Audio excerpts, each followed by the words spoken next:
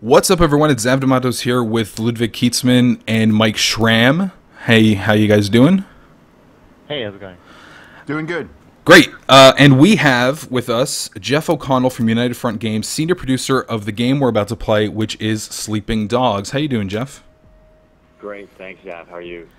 Great. Uh, and thanks for joining us and, and, allowing us to play the game for people who are eager to, to see it. It's coming out uh, next week on August 14th. Uh, right. And uh, on PC, Xbox 360, and PlayStation 3. This is the PC version of the game I'm going to be playing with a controller. Uh, just because it's going to be easier for me and it's going to be better for people not to hear me clicking the keys like crazy. Uh, but before we start, can you uh, can can you let us know uh, a little bit about the narrative overview of the game? Sure. Uh, so Sleeping Dogs, as you said, uh, Square Enix, Front Games. Uh, we're really, really happy to uh, bring this to everybody next week, August 14th. And the narrative overview is that you're playing Wei Shen, who's uh, an undercover police officer, uh, undercover with the Triads uh, in Hong Kong. And uh, we've been inspired by Hong Kong cinema to make this game, both Hong Kong action cinema that um, Western Western gamers would be familiar with from movies as far back as Bruce Lee and uh, Jackie Chan and Jet Li, all the way up through John Woo, and um, you know even uh, some stuff that Tony Jaa is doing now, and also not by um, just Hong Kong action cinema, but by Hong Kong um, dramas as well, Hong Kong undercover cop dramas uh, like the Triad Election series or the movie Infernal Affairs, which inspired The Departed. So we've drawn from um, to the best of Hong Kong uh, cinema and, and tried to, to package it up and put it in a really engrossing uh, city that we fell in love with during our research there, which of course is Hong Kong, and uh, bring that to people with something, you know, uh, fresh and new that they haven't seen before in terms of uh, a new city and uh, deeper action mechanics that they've um, seen before in an open world game, an urban open world game, and also um, being a cop, which is something that, despite the fact that there are so many movies and uh, books, TV shows uh, about cops. There's not a lot of games about cops, so we, we wanted to bring that to people as well. Great. So um, I don't know if anyone has any specific questions for Jeff. We're going to start the stream in, in just a second here, but um, well, the stream is going on. We're going to start playing in just a second here. We're at the beginning of the game. Uh, if you guys maybe want to ask Jeff anything, anything specific. Well, I was just going to ask you, Jeff, before we get too far in here. Uh, this is kind of an old story, and I know you know the game's progressed a lot since since this story came around. But can you talk a little bit about the history of Sleeping Dogs as uh, you know, uh, sort of as it was originally worked on, and then what it's become now? I mean, I think I think it's pretty well known at this point that originally was the true the true crime title, but has moved on a lot since then. So can you talk a little bit about that? Sure. Uh, so we actually started off. We we weren't uh, true crime. We actually started working with Activision on this way back in 2007, and as its um, own separate game, right?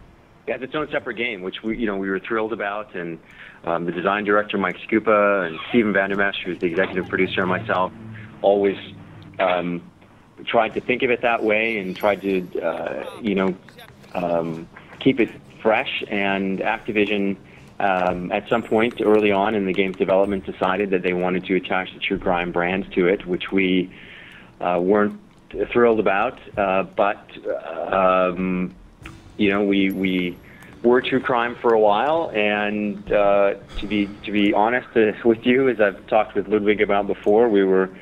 Um, devastated by being canceled, but I think it was a blessing in disguise. We were um, happy to get rid of that brand, and we love working with Square. They've been awesome, and they've let us let us really finish this thing as we as we started it as an original IP. So, um, yeah, it's been a it's been a, quite a development, um, almost five years, and uh, but you know we feel really fortunate. So many games that do get canceled, um, if they see the light of day, um, which most of them don't they don't uh, come to market with the kind of support um, that Square has put behind this game. So, uh, as I said, we're, we're happy, we're confident in the game, and we just think Square has done an amazing job with it. Yeah, I, I know that you have a really complex, interesting fighting system in the game, and I'm sure we'll see that and we'll talk about it in the stream here.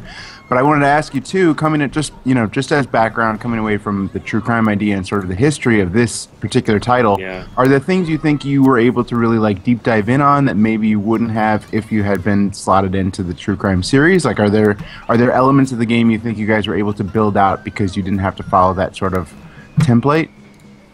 Yeah, there are for sure. I think uh, just to touch on a few of these, um, if you guys want me to go into more detail on any of them, I'm happy to. But you know, first thing, I think that we were able to tell more of a story that we wanted, uh, more of the story that we wanted to tell, um, Mhm. which is uh, it, it's it's a crime story that's sort of big and sprawling and is a bit like an Elmore Leonard novel where characters come and characters go, and it doesn't really fit the the uh, what people might be used to in sort of a two-hour movie. So um, it's a bit harder to wrap your head around. But and Square, you know, let us let us do that, which I think has benefited the game. It works really well for an open-world game to have a, a long and engrossing um, narrative with lots of different characters. Um, and I think from a mechanic standpoint, uh, yes, we were able to polish up the fighting to a level that we really feel uh, stands stands well against just um, dedicated fighting games, uh, dedicated third-person action games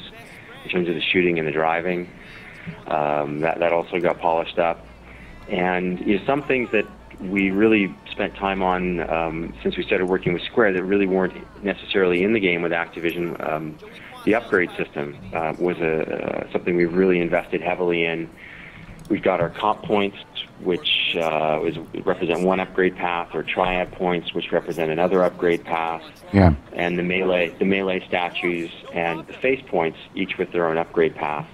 So that that system has really been um, built out since starting to work with Square. We feel that that's unique. Um, for- Yeah, for I definitely want to talk about talk about that fighting system and how the different moves work. Um, When probably when we get to that on the stream, I do want to say before we go too much further, we're getting a lot of people jumping in on the stream. If you're watching live and you're in the chat there, feel free to ask any questions and we'll pull them up and give them to Jeff here. He'll be able to answer them for you. So if you have questions about what you're seeing on screen or what's going on in the game or what, what you think about Sleeping Dogs, which is coming next week, uh, go ahead and ask them in the chat, and we'll send them over to Jeff here. So, uh, right now, you know, we're looking at uh, a lot of the open world stuff. Talk a little bit about, you know, what your philosophy was when you guys sort of um, uh, approached an, an open world game. I mean, obviously, it was open world from the beginning, but open world games that we've played a lot of them at this point, and some of them have taken on different types of uh, settings and Yeah. different things like that. T- talk about, I guess, Hong Kong, right? Yeah, I think there's probably two sides to to the answer to this question. The first side is um, it, we wanted to have a balance with this game, even though we we have really deep mechanics and we have really detailed uh, main missions where you can show these things off. We didn't want to forget it at its heart. It is an open world game. There've been some open world games that have come out recently where the open world isn't that fleshed out. Um, so we, we wanted to make sure that that balance of sandbox fun was there too, just stuff to mess around and do in the open world. So there's there's several hundred things to do in the game. I think there's between three and four hundred different missions, including all the collectibles and cases and jobs and stuff. So there's just a ton of stuff to do. That was really important to us to have that balance. And then the second part that I mentioned is you know Hong Kong, and it's it's a unique um, city. It has enough familiarity that it won't be completely foreign to um, gamers in North America and Europe, but yet at the same time it has all these these sorts of things that we're not used to seeing. It has, you know, the the really um, uh, the history, the city is uh, and the Chinese history, the elements of mysticism. Um, the language, of course, being different, Cantonese being predominantly spoken. We, we've got a lot of um, characters who speak Cantonese in the game the food that's eaten, um, the the layout of the city, uh, the architecture of the city, with sort of the guts of the buildings are on the outside of them, uh, air conditioning and pipes and wires and all that sort of stuff. Um, and the kind of activities that you can do in the uh, in the open world there, you know, um, singing karaoke, cockfighting, mahjong gambling. I was going to say we've got a Uh, question from Jay Smith, two one four four, who wants to see how mahjong poker works. Is that a you can just go to a parlor, or how does that work? Yeah, there's uh, Hong Kong. In, in the real Hong Kong, gambling is legal except for horse racing. So in the game, we've got two offshore gambling dens, which are unlocked through progression. And uh, once you get out to these gambling dens, yeah, you sit down and uh, can game away. Uh, it's it's not a completely uh, detailed mahjong game. That would be a game in itself. But um, yeah, you, we've got a, our version of that. And I guess because it's gambling, you can actually earn in-game money from it. Yes, exactly. Great. And use that to buy clothes, cars, massages, Great. whatever you want. Letty, you can jump in if you got something. I'm seeing that we're seeing some hand-to-hand combat here finally, and I really want to talk a lot about this system that you guys have put together. A lot of open-world fighting, the, the extent of the hand-to-hand combat system is a punch button, but Yeah. Sleeping Dogs, you guys have really built out something interesting. So talk about sort of the foundation of what you wanted to do with this hand-to-hand combat system and how it sort of evolved as you implemented it. Sure. Well, I have to give you know credit where credit is due, and that a lot of that um, comes from our design director Mike Skupa, who uh, is uh, ex of Bully, uh, Rockstar's. Um, You know, they're very very successful game um, that at its core fighting game as well. So. When, when Mike came aboard at UFG, which is really from day one on um, on uh, Sleeping Dogs, way back in 2007, you know he knew the kind of game he wanted to make, and he knew that you know the things he wanted to improve upon um, from Bully. So that that's really the genesis of where it started. And, and Mike is a huge Hong Kong film fan, and um, the the reference video that he showed all of us and said this is what I want to make was actually from the Tony Jaa film The Protector. It's a scene where Tony Jaa fights his way up uh, uh, the inside of a, a spiral building. You know, Oh, yeah. Anybody can see, and it's it's like if you Google Tony Jaa staircase fight, it's all one take. classic, There yeah. are no there are no camera cuts, and it actually feels like an open world game. The camera is behind him for most of it in a third person view. And the cool thing about this fight is that he's not just punching guys and kicking them, but he's doing two other things as well. And these two things he wanted to put into the game. One, he's actually using the environment. Um, he's throwing guys over railings. He's putting them into walls. He's banging their heads off tables. Uh, but the other thing is he's actually doing other things. He's kind of using things as props. He's like rips a sink off the wall and hits a guy with it. He kind of uh, turns the environment itself against um, his his enemies. So those are the things you wanted to do in the game was really give you not just punches and kicks, but let you use um, the environment um, in, in kind of all its forms as well. And that, that's It's- where the inspiration came from. It's funny because playing the game, I the thing I most equated to actually was Arkham, Arkham City, Arkham Asylum. Like it's very counter driven. It, it seems like it's it's sort of uh, there's a lot of different moves. Even though you know, even though you're doing the same move, it's very context sensitive and and it's very interesting how deep it gets. And then you also have this upgrade system where you can actually collect new moves, right, by going to and Yeah. training. Yes, exactly. You know, and, and we we really loved um, Arkham, and both of those games are, are incredible. And uh, you know, chance to work with Square, who you know was heavily involved, uh, were heavily involved in Arkham Asylum, really helped us, I think, take the combat to a, nice level of polish. And yes, as you mentioned, the, the counters are in there, where you can perform any kind of um, counter. The enemies will glow red the moment that they're uh, about to perform a counterable attack.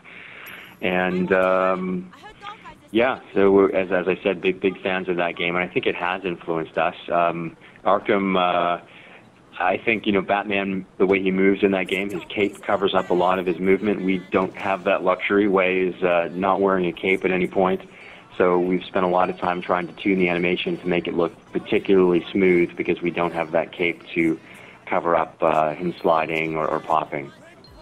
I definitely want to talk more about the fighting system, uh, but people in the chat channel are asking about customization. Someone says it was said, uh, Light, Light Arrow says it was said in a live stream that there are 300, 400 clothing items. Is this true? And then maybe talk about too, like the elements that you can customize and maybe what different pieces may do for you, may or may not do for you. Sure. Um, so yeah, there are uh, there's over 300 uh, different clothing items. Um, there's everything from kind of jeans and t-shirts to suits, and then beyond that, kind of goofy outfits, and then Hong Kong cinema inspired outfits and outfits inspired by things Bruce Lee has worn. Um, Gordon Liu, Tony Jaa, kind of the icons of Hong Kong cinema. So yes, absolutely, that that's in there. Uh, as far as the way the clothing customization works, some of those clothing sets or, or, or clothing items can be combined into sets that give you bonuses. There's a thug bonus, um, for example, that I think gives you a discount on um, food bought. I can't exactly remember, but in any case, combining some of the clothing items will actually give you a, a buff in game, a damage bonus. Uh, uh, purchasable items are, are less expensive, that sort of thing. So it's not all just customization. You're actually building some of your stats depending on what you wear. Exactly, exactly. And you, you can save those outfits as preset outfits in your wardrobe. Go into your wardrobe and change those. So your wardrobe is accessed to any one of your four safe houses. Uh, and you, uh, you can buy new clothes at clothing stores all around Hong Kong. And each clothing store has a, different um, selection of clothes depending on what part of town they're in. Um, Central Hong Kong is more suits, uh, whereas North Point, where you start the game, it's more streetwear. Cool. We're seeing a little bit of the fighting in this in the game now. It's it, it, talk a little bit about. We also saw the cop and the triad experience pop up. So as you're fighting, you can actually earn new moves and build out his uh, uh, his his move pool. Exactly how does the the upgrade work? I mean, you need to earn the, two sets of experience, and then what do the two sets of experience give to you? Sure, it's it's really straightforward and easy. So um, the cop experience, the way that works is uh, during a mission, uh, you you will lose cop points as you go through a mission, depending upon if you damage public property, if you hurt innocents, if you hurt hurt cops, your cop points will go down. Um, and what the cop points, if you're successful and you actually finish mission with a lot of cop points, that'll allow you to upgrade your driving uh, and your shooting skills predominantly.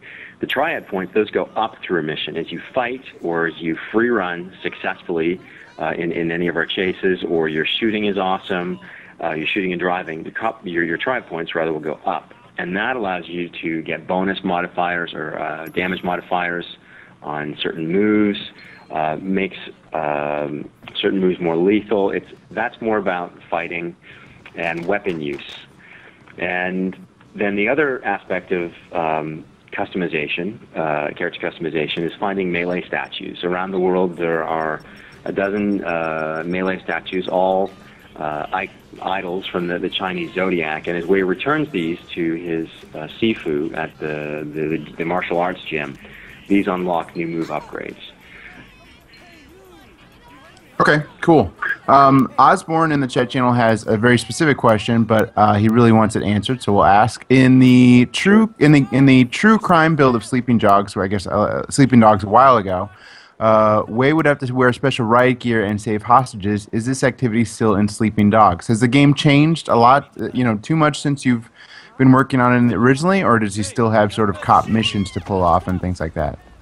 There are totally still cop missions in the game. Uh, those are uh, cases. Um, there are four cases in the game, uh, four parts to each case. We call those leads. So these are more cop themed um, things that Wei does for one of the characters in the game, and they really kind of help him clear his conscience or balance uh, doing some good detective work with some of the terrible stuff he has to do undercover. And these are more investigative. So you know, instead of uh, driving or shooting or fighting, you might be doing some following or some photography or some evidence gathering. So it's a bit of a change of pace. Um, we definitely do mix in the action there, but it's, you're doing more cop stuff, lock picking, um, hacking, that kind of thing. Um, as far as the um, uh, hostage um, stuff goes, um, that uh, um, the question is all about, yes, I, I, I would love to be able to talk about Yeah. um, stuff that's coming down the road, or potentially coming down the road from us, but um, let's just say that that might find its way in there. Yeah, you don't want to spoil it. That's for sure. Ocean Swimmer wants to know: Can you can you buy and train pet dogs? Uh, no, no. All the but, dogs are um, sleeping. It's only sleeping dogs in this game. All the dogs are sleeping. I think you can buy a bird for one of your safe houses, but I don't think you can buy any dogs. Cool. We answered this just a little bit, but uh, Poker 360 wants to know: Were there any specific games that inspired the development of Sleeping Dogs? It sounds like it was very inspired by Hong Kong movies, and you talked a little bit about how Arkham had inspired the combat. But are there are there open world games that you guys really looked to when you wanted to, to work on this, or, or non open world games that you were looking at? Uh, you know, I think that there was no um, game or, or group of games in particular that um, we kind of looked at and said we want to be like these guys. I think the, the great thing about United Front Games um, is that we assembled a team of guys who've you know, almost all of them had worked on open world titles. We've got a bunch of guys from Electronic Arts who worked on Need for Speed, on Skate, on Godfather, um, guys who worked on Mercenaries, guys from Radical who'd worked on Scarface and Hulk and Prototype. Um, I mentioned Bully and other guys from Rockstar. So you know we we have a very experienced crew, and I think what that enabled us to do was, you know, I talked about starting this as an original IP. When everybody kind of put their collective brain power and, skills together, um, we felt we could create something special, and we didn't really have to look to something else and say we want to be like that. But certainly, everybody was able to kind of leverage their skills from those other games and bring them into this one. I think a perfect example is with the driving. Um, a lot of the guys from Need for Speed early on said, "Listen, we want to have a driving system that's easy to pick up and play, that feels fun and arcadey, and not simmy and slidey." And and uh, I, I think we've achieved that. So that that's just an example of um, something that inspired us, but more indirectly. Cool. A couple people in the chat channel have asked uh, about mods for PC. Is that a possibility, or is that something that you're planning to do? Um, I can't really talk about that right now, but uh, there'll be some information coming on um, very, very shortly about that. Okay, so stay tuned if you're interested in modding the game for PC. And then uh, we have another question from MSI Zeal, who wants to know about vehicle customization. He saw that you can store videos in a store vehicles in a different video, but can you modify them as well? Is that something that made it into the driving system, or is it essentially the cars that you have in the game? Yeah, the, the modification that we have for the vehicles is paint jobs, which is uh, a byproduct of our lead vehicle artist, a guy by the name of Neil Ambler, and Neil was uh, part of the Need for Speed team for a long time. So he's uh, modeled all the vehicles, but uh, he's also created some pretty cool custom paint jobs and decals for these vehicles. So in each one of the parking garages, you can store as many vehicles as you buy or as you uh, gain from missions. And in each, uh, for each of these vehicles, they each have a number of preset paint jobs or decal jobs. So you can switch between those as you take your car out of the parking lot. Cool. Uh, we're seeing a little bit of the cutscenes here. Can you talk about the actors that you've got on tap and sort of how they were included in the game? Sure. Uh, you know, I, Jeff, before the, sorry, before uh, you do that, I'm gonna just jump ahead so people can see some of the gunplay stuff. And uh, we are purposely skipping a lot of the cutscenes just so we don't spoil the story for people, just to let everyone know.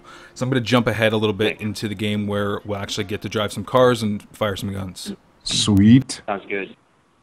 Um, just on the, on the cast, though, I, I think that, you know, we had our cast announcement a couple of weeks ago, our full cast announcements, where we kind of revealed that uh, we've got a, a lot of you know, both Hong Kong actors, people like James Hong and Edison Chen and Robin Chu and Chin Han but uh, also a great um, cast from, from Hollywood. Tom Wilkinson, Lucy Liu, Will Yun Lee, who plays Wei, Emma Stone, Lin Yunjin Kim from Lost. Uh, and the amazing thing for us was when you know we put together our wish list of actors to play these roles, who were kind of all written a little bit, at least with some of these actors in mind.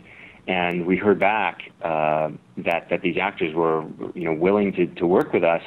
I mean that's that's best case scenario, kind of dream come true. And I have to say, each and every one of them was amazing to work with, and uh, I hope we get a chance to work with them again. Um, Will, in particular, who plays Wei, um, I think did an incredible job with a very difficult part. He has to be a tough guy most of the time, but at the same time, as a gamer, you have to sympathize and identify with him, both because you're you are him, and also because you know he's an undercover cop, so you have to see his vulnerability. He can't be just sort of a, a badass Charles Bronson type all the time. So Will um, just did an amazing job with Wei. Um, we have a couple questions in the chat channel actually about the Team Fortress 2 tie-in. And Cock, I apologize for this in advance. He says, "Oh, cool! This is the mini game that came with my new TF2 hats," which is kind of, kind of mean, but it's funny. I thought. Uh, what? How did that come about? The Team Fortress 2 hats, the, the trade off. Did were you guys in, involved in that, or was it just something that uh, Square Enix put together with you all? Yeah, that was a marketing team thing, Dave. Cool. Cool. Well, we're looking we're looking a little bit forward now. Um, David Jans wants to know: Does the choices you make between cops and triads affect the gameplay? Of course, as you you said, as you do different um, do different things in the game, you earn experience for other cops or triads, and then those unlock certain abilities, right? Yes, and I'm just noticing, uh, looking at the live stream, um, that you guys are, have the Rico outfit on, which we, we're really um, stoked about. The outfit looks great. Um, but as far as the, the cop and the triad um, storyline, yeah, th- there's not a branching storyline. Um, the storyline is uh, linear Uh, and we, we had a certain story in mind that we wanted to tell, so we, we, we stuck with that. However, the cop and the triad upgrades, um, you're scored on those at the end of each mission. And if you're not happy with your score, you can immediately go back and replay that mission with our, our replay feature and, and have a chance to, to change your scores. So if you do get to a certain point in the game and you want to go back and sort of give give another upgrade path a try, you certainly can. But at the same time, you can also just do more of uh, certain kind of missions, which will give you, let's say, more cop points. So you don't have to go back and replay if you want to. You can just play a certain type of content to get that, that upgrade path fulfilled. Cool. Um, how big is the map? Joe Chan thirty four wants to know. Um, you know, I, I was asked a, a, similar question yesterday, and I don't have the exact number of square kilometers, um, but it's big, and the, I think really comparable with other games that are out there. The other thing um, that I always like to mention when talking about the map is one of the things we've done differently than a lot of um, other open world games, and in urban open world games in particular, is we've got several dozen um, very, very detailed uh, interiors, and I, I, calling them detailed isn't really doing them justice. These are custom levels uh, like you would see in a linear game. We've got these set in uh, manufacturing plants, which I think we're going to take a look at. We've got these set in skyscrapers, um, bars, all different kinds of places where we've set up both combat props and custom encounters. So, it, from that point of view, you know, it, you're getting a level of um, detail uh, that you normally don't see in open world games. The other thing is we've got um, other aspects of the island itself. We've got uh, the Peak, which is a mountain uh, in the middle of Hong Kong with a roadway uh, winding up there that is a great spot for a lot of our races. We've got boat gameplay, and we've also got different levels, uh, or I guess I should say, um, uh, levels of height around Hong Kong. Uh, staircases that go up onto low rooftops. Uh, you can have chases across pedestrian bridges, and yes, if you do encounter a guy up there, and you want to throw off the pedestrian bridge onto the road below, you can. So there's um, th- there's some some height elevation in there as well. Yeah, and it's uh, the the part that I played was kind of in the middle of Hong Kong, and it, it just seems very detailed. Like even you know even though the area that specific area I didn't get to see the mountain or get get on a boat, but even though that specific area was relatively small, it was so populated and it's very dense down there, especially so.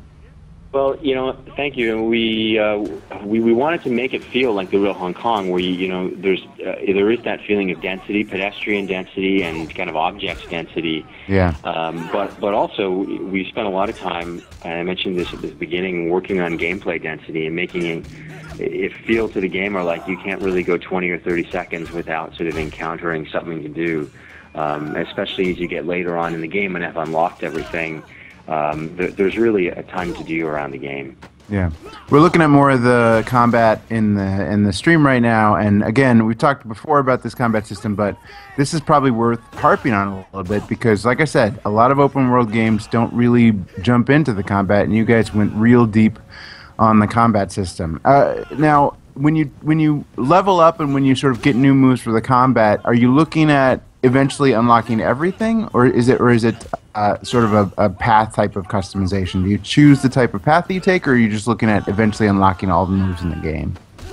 I mean, we, we want you to unlock everything. Okay. Um, the way that the, the way that the, the upgrade system works is you, you won't find yourself having gone down one path and then not being able to go back or not having enough time to go back and unlock everything else.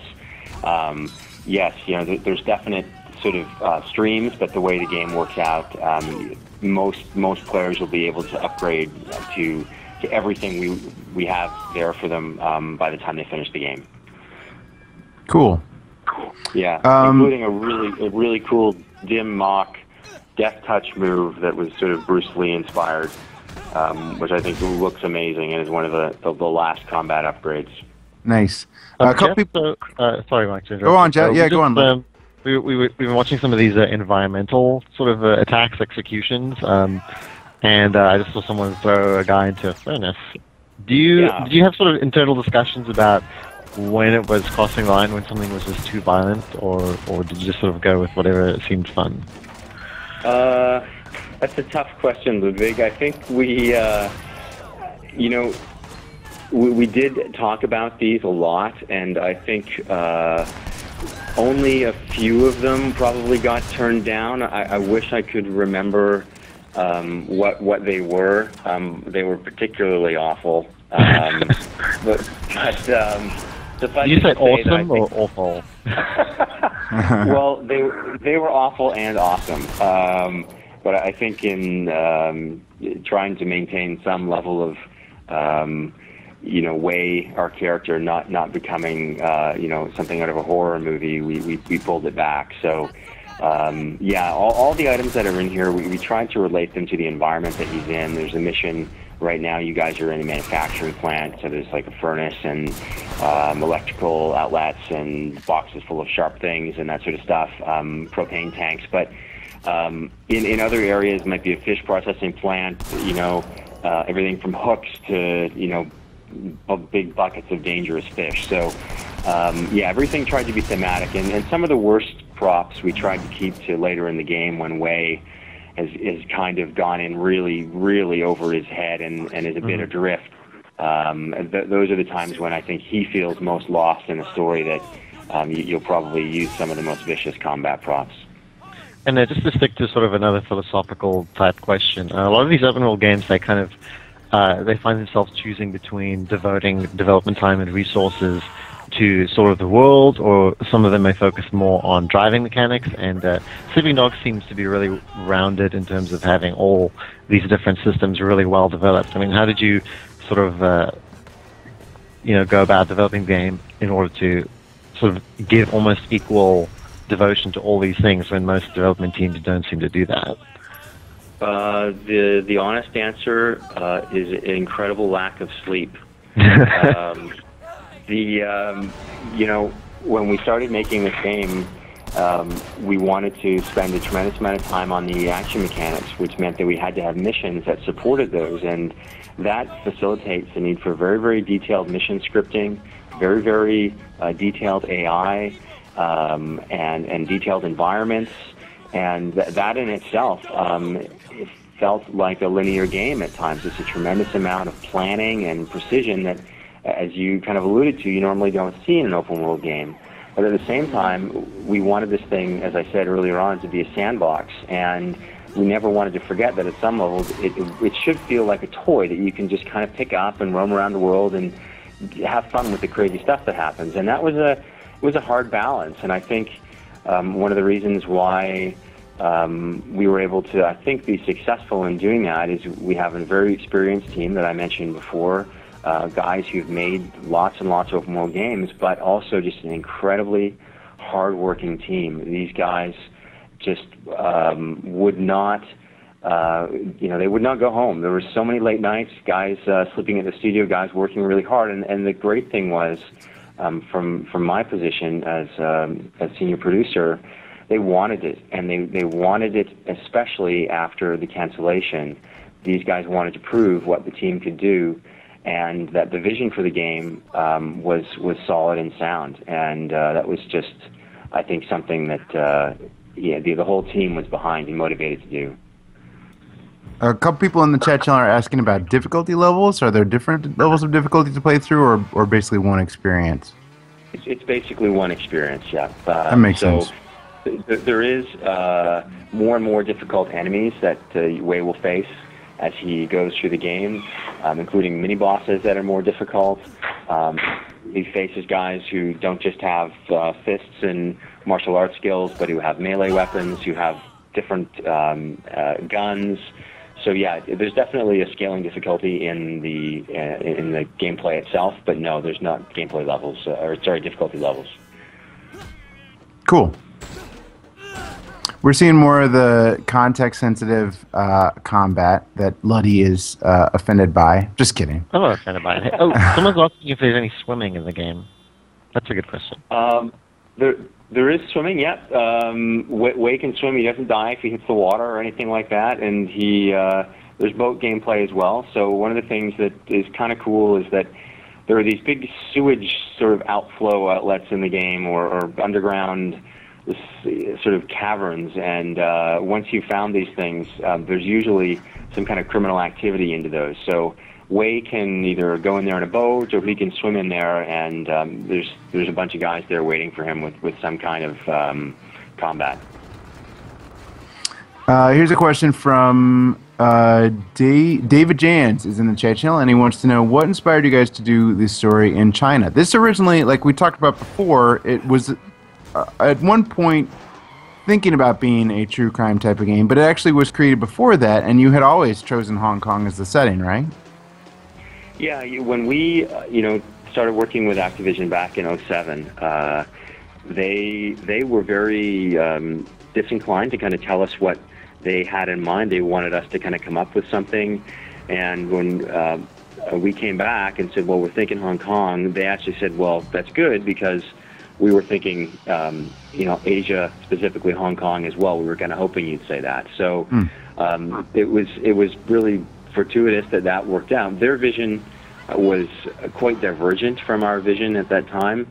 Um, we envisioned something a lot more realistic, a lot uh, grittier, and, and based on the, the sources that I talked about, triad election, infernal affairs, and you know even Western movies like um, uh, uh, The Departed and Eastern Promises, the David Cronenberg film. So um, they envisioned something a lot more fantastical, um, but um, we're glad that again we, we got back to um, our vision. Is it just that media that that uh, drove you towards Hong Kong, or is there something specific about the setting that you guys really liked to wanted to do? I think uh, it was the media for sure that played a big part of it, but also, you know, we sitting down with uh, Mike and Stephen and our our, uh, our executive producer and our other leads early on. We wanted to do something in the open world genre that uh, really hadn't been done before, and that was to place an emphasis emphasis on the action mechanics and specifically the fighting. And there's not too many cities in the world where you can have a uh, urban open world game where sort of melee fighting makes as much sense as it does in Hong Kong.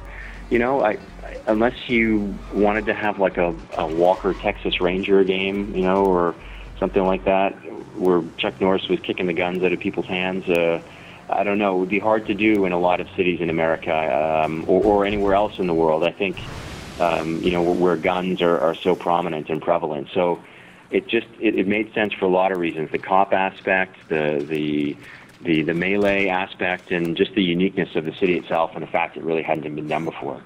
Wait a minute, Chuck Norris game. Now I'm now I'm kind of interested in that one. Uh, we haven't mentioned that. I'm sorry. just kidding. We have another uh, a question. I, I I lost track of who asked it. I, oh, Travic asked it. He said, "Did the dev team visit parts of China during the creation cycle of the game for the atmosphere? Did you guys do research over there for this?" Yeah, absolutely. Uh, we did a ton of research. Uh, I spent about uh, a week and a half, two weeks in Hong Kong. Uh, executive producer spent about the same amount of time, as did the art director, uh, who actually spent uh, more than that. Uh, the art direction uh, team took 25,000 photographs, tons of video. The audio team went over there and just recorded everything from ambient street noise to sounds of um, you know, gambling in sort of underground dens and uh, that kind of stuff. We had a writer spend time over there who spent time talking with. Uh, we were very, very fortunate to have him be able to talk to uh, uh, members of the police force and ex-members of the police force as well. And I, I get people kind of um, uh, non, uh, not believing every time I say this, but uh, a writer did actually, through connections and a very long period of negotiation, manage to talk to some triad members. And he didn't meet them in a coffee shop or anything like that. This was a period where they they met him after vetting him and sort of took him on about two days of of touring around their sort of places of business. And um, so, yeah, we, we made every effort to watch the movies and read the books, but also go to Hong Kong and, and try to understand that city as best we could and, and bring those things to people in the game, both in terms of the, the main storyline and the characters who were in it, kind of were inspired by people we met and things we read, but also just the city itself and how uh, vibrant it is and what people wear and how they talk and how they act and what you can eat and the cars and all of that. We just wanted to put that in the game. And the music, you know, there's um, radio stations in all the cars and bikes and boats, canto pop and Chinese classical music is there as well. So there's a, there's a blend of stuff. So you're saying one of your team joined the mafia just to make this game? Well, uh, he, he was a, maybe an honorary member for a day or two. I, I wouldn't go quite as far as. Uh, and and uh, yeah. we're seeing driving around the city now, and this is what I was talking about before. How how dense it is. It is very dense. Uh, I am as Xav is driving around. I'm seeing on the side pop up uh, little badges or little little challenges or stats. One that's pop one just popped up called Clean Drive. Can you talk about Yeah. those? And I've seen those in Melee too, where it's sort of counting your counters and doing things like that. Talk about that system. Sure. So one of the things we have that um, is sort of extending um, the life of the or, or the, the gameplay beyond just the, the life of the, the single player is um, we have uh, these stat challenges and how they work as you're going through the game. A variety of stats are being recorded. Um, uh, actually, a ton of stats are being recorded, and some of these things you'll see pop up in the lower right-hand corner, and uh, these are, are logging your stats. Now you can actually uh, play this game uh, and, and challenge your friends uh, in these stat challenges. And all this stuff is posted up to leaderboard. So whether it's clean drive or longest motorcycle wheelie or longest motorcycle jump or number of pork buns consumed, um, you can challenge your friends in these things. And it just um, it, it just is a, a, some of the stuff is fun and frivolous, but again. Being an open world game, we didn't want to lose sight of, of that aspect of um, what it enables you to do. Cool. Yeah. It, it, so it's sort of asynchronous multiplayer, even though you know just as you play the game, it'll track your different stats there. Exactly. Cool. Uh, a couple people have asked this. I, I don't think that we've heard anything about it. I don't know if there's anything coming. Is there any multiplayer, like real time multiplayer? Um, we have we've been talking about some stuff. Um, I, I don't want to talk about that yet. Sure, but, sure. Um, but we're, we're, there's some things we're, we're looking into. Um, definitely some challenge with challenges with a uh, multiplayer fighting. Um, but uh, certain Okay. aspects of the game, yeah, we're looking into it. Well, we'll look forward to any news about that in the future. Uh, a couple people have asked about guns, and I'm interested in. I did. I did not get a ton of chance to play with the gun system when when I played around with the game. Does it? Is it an inventory system like like Grand Theft Auto, or is it uh, like a slot system, or how does wielding guns, maybe gun customization, work in the game? Well, we always envision guns as a power up, which is kind of how you see guns being used in a lot of um, Hong Kong cinema films, uh, unless, of course, you're John Woo, where, where everybody um, in John Woo films has guns. But uh, Unlimited ammo. You know, unlimited ammo. Um, yeah. So the you know the way our, our gun system works is that Wei yes you can stow a pistol um, you can't stow a shotgun or an assault rifle in, in a bag of holding um, we wanted Wei to primarily rely on his martial arts skills and and that sort of pistol making it more believable that he's an undercover cop now um, later on and in the game in particular as you get past uh, the, the manufacturing plant mission which we uh, we just saw that's really where guns um, become more and more prevalent in the story. Uh, in the real Hong Kong, guns are extremely rare. They're, they're outlawed. Uh, there's you know laws against possessing a single bullet. But in the game, once guns make an appearance, they do factor into gameplay more and more.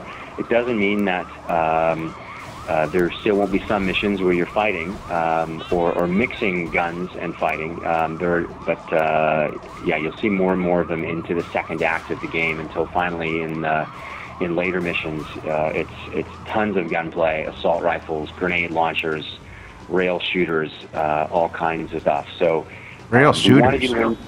You to learn- yeah, we've got a lot of, uh, of rail shooters in the game where Wei uh, you, we've got a, an amazing driving and shooting system. We spent a lot of time trying to make the driving and shooting feel better than any other urban open world game, but uh, Wei goes along for the ride in a few instances, and actually, uh, the rail shooters are some of the most exciting parts of Oh, the game. I Uh, understand. I thought you meant rail gun. I was like, "There's rail guns in Hong Kong already." uh, not yet. The technology they have, not yet. Right. Yeah, yeah, maybe in a sequel. We'll see. Uh, someone asked about the uh, language. Oh, uh, Molson Drinker wants to know: Is there a Chinese language option in the North American release? How did you handle handle languages? Because, like you said, there's a lot of Cantonese, um, but the main character generally speaks English in the, the demo that I played. How did you guys sort of approach languages in, in such a international setting? Uh, well, Cantonese is the uh, main uh, language of, of Hong Kong. Um, English is not as, in our research, we sort of learned that English is not as prevalent as, as we actually thought. Um, uh, and, and Mandarin is also spoken there, but, but not nearly as, as, uh, as prominent as Cantonese. So, uh, what we tried to do in the game was, of course, given it's for um, gamers in the West, we biased it towards English. However, we wanted to keep that authenticity. So many of our characters in cutscenes uh, uh, will speak in Cantonese, and their lines are subtitled. Uh, in fact, uh, Edison Chen, who uh, plays Jackie, Wei's sort of right hand man, often mixes Cantonese and English in the same sentence, and we've subtitled that. Um, we we have a, a, subtitling system, so if you're annoyed and you don't want to see what the subtitles mean, yeah, you can definitely turn it off. Um, and then, of course, characters on the street will speak in uh, can- with Cantonese accents or speak entirely in Cantonese. Um, we, we did want to bring that into the game. We thought it would be inauthentic to do otherwise, and I, I think one of the other things that we we tried to do was do our recording in Hong Kong. So a lot of our uh, voice voices, especially ambient voices, were recorded in Hong Kong. Uh, a number of others were actually recorded in Vancouver, where our studio is based, which has a very, very large um, population of, of uh, native Hong Kong, uh, native Hong Kong uh, people, and uh, so they were amazing in coming in and speaking Cantonese and not having to go all the way to Hong Kong to record that. Cool. Guys, time for one more question. Uh, Letty, I don't know if you want to jump in. We can talk a little bit more. I had a question about the dojos, but Letty, if you got something, go ahead. No, go ahead. It's fine. Uh, we're, we're, we're looking at the combat again, and we've talked before about how complex the combat can be. I know the dojo system is also fairly well built out. I think there's even a pre-order for George St. George St. Pierre, so it's actually very MMA style. Talk about the different dojos that you find around the city, and then uh, I think we're looking at like a pit uh, gameplay right now, like where it's rounds. This is a very cool um, area you guys are right now. So uh, you found sort of an area behind a, question about the size of the world earlier.